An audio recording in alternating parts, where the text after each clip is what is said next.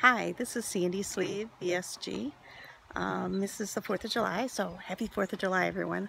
I had um, sleeve surgery on June 23rd, 2016 at St. Mary's Hospital with Dr. Randy Baker.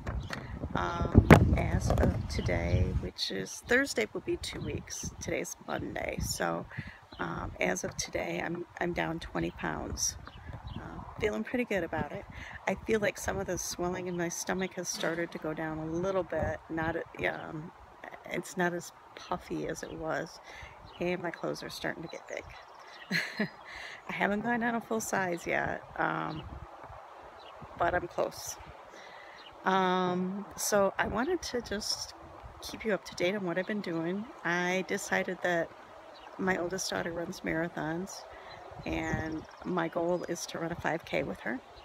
So I went to Playmakers this week and I got a new pair of Brooks running shoes um, and talked to um, some of the people there. I'm getting ready to do the C25K app. Um, I've heard that it's a little bit easier than the um, my, my Fitness Pal. So I'm going to do the C25K. Um, forgot what else I was going to say. um, so my daughter's excited about it. I'm excited about it. But I got fitted. Oh, and while I was there, they were telling me that there's a class, a beginning class for running and a beginning class for um, walking. But if you take the walking, it teaches you how to run. And they videotape you and they watch what you're doing and how to do it more efficiently and that type of stuff. So I'm going to take, it's a free class. Uh, so if you have a Playmakers, um, Monday nights, it's, I think she said an hour. Um, and I talked to my daughter and she had taken, she just took the running class and said it helped her a lot. So that's what I'm doing right now. I'm, I want to get into water aerobics at um, the local aquatic center. However, he told me no swimming until my stomach heals. So I go back on Tuesday. I think that's just with a dietitian. I don't know if I'm going to be able to um, see the surgeon at that time or, or not. Um, so one of the other things I've been doing is um, my daughter let me borrow her blunt, her bullet, and the bullet has been like so much fun. I have um, been making this drink to cool off. You know, if, if you ever go out with friends and you know you, you can't drink, so you kind of just go out. So what I what I did, actually I've done this twice now. Um, you know how, how bars make margaritas and they put them in this machine with water and ice and it gets all frothy and stuff. So um, I asked him to do that. Put a little bit of lime juice in it. we can have lemon and lime juice. And then I put a little bit of tropical coconut crystal light in there. Oh my gosh, it's so good you you don't miss the alcohol because it's so good it's so refreshing. So I started doing those at home and you can do it with a bullet. And you get your water in and it's really good I really like it. Um, the other thing I did and I had heard that you're not supposed to use a bullet in the beginning because it puts air into your pouch but I haven't had a problem with it.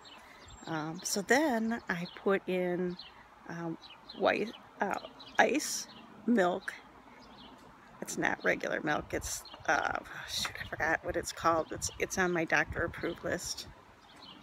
Um, the milk that they tell me to, to use. And then um, a little bit of either chocolate or caramel latte um, protein powder.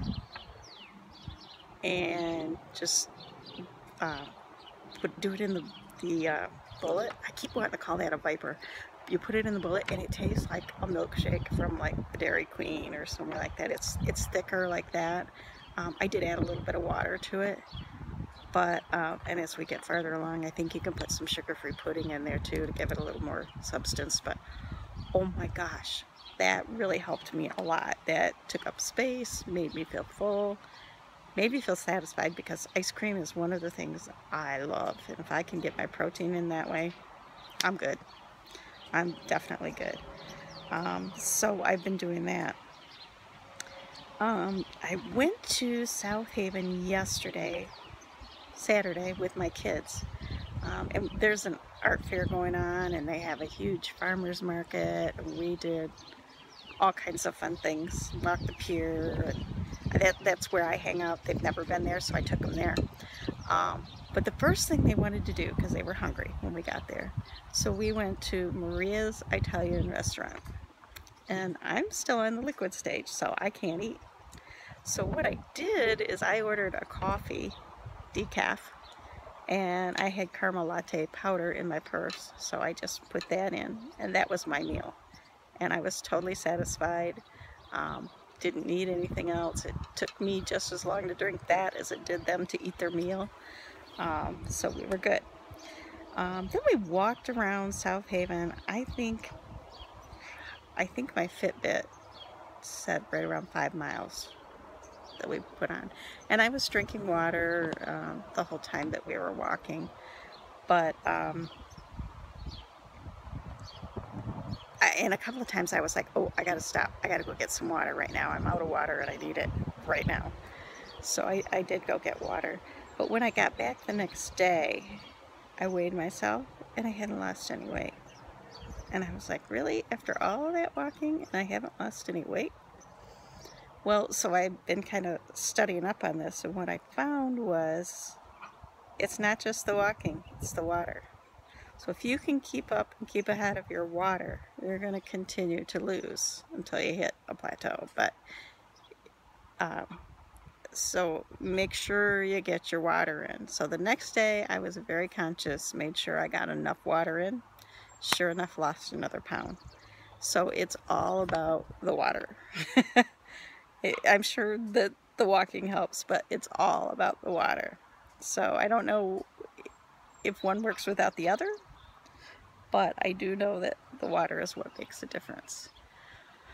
Um, and then speaking of water, I have been having a hard time getting plain water down. Um, flavored water, like I buy Fruit2O, um, flavored water I've been really having a problem with because it's so sweet. So then I water it down and then it's hard to keep track of what you've been drinking. Um, but it still kind of has that sickening sweet smell in it. So um, I went to the store and I bought some lemons and some cucumbers and I made some detox water. I don't know if you've ever heard of it, but it's that's what it, lemon and cucumbers, the detox water.